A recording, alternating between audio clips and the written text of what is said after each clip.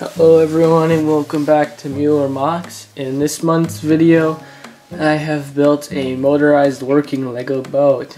Yay! So, uh, as you can see, it's pretty straightforward. These are the, these are some medium motors, one on each side attached to these paddles so it'll spin and propel it along. And in the middle is the battery box. And then in the back, with the little windows, the receiver, so you can then you use the controller to send out a signal. Receiver sees it and then sends signal to the motors to move. And then this boat body it's a little fishing boat from like I don't know like 2014 or something was not strong enough to hold the weight all by itself. So um, yeah I had to use some water bottles. So these just fit in there yeah we're gonna test it out now it does float I did test it in the sink a little bit, but we're gonna test it in the bathtub now.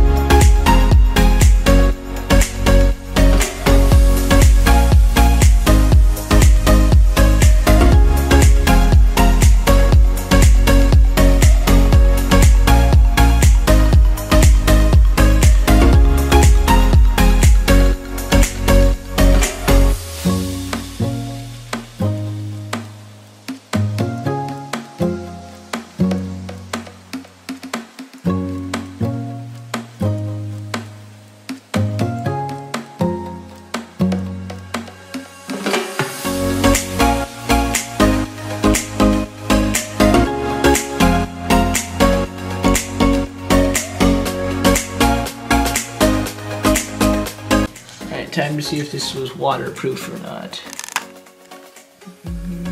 The might be wrecked, hopefully not.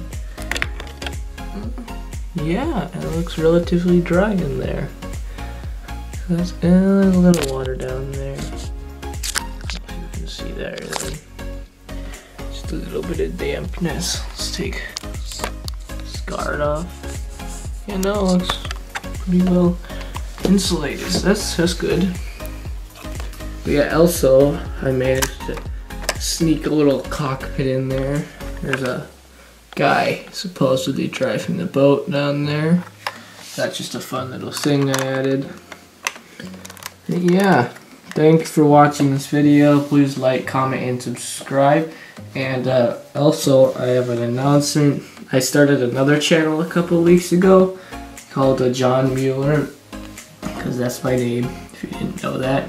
It's not Peter Mueller. That's my dad's name. I started a new channel, John Mueller, called uh, called John Mueller, where um, I'm making a real Spider-Man web shooter, not out of Legos, but just like with I don't know whatever I can find. But yeah, that's a new channel. I'll still be doing this channel once a month as usual, so don't get scared that I'm just gonna leave or anything. But yeah, thank you for watching and go check out my other channel. I'll leave that link in the description. Bye.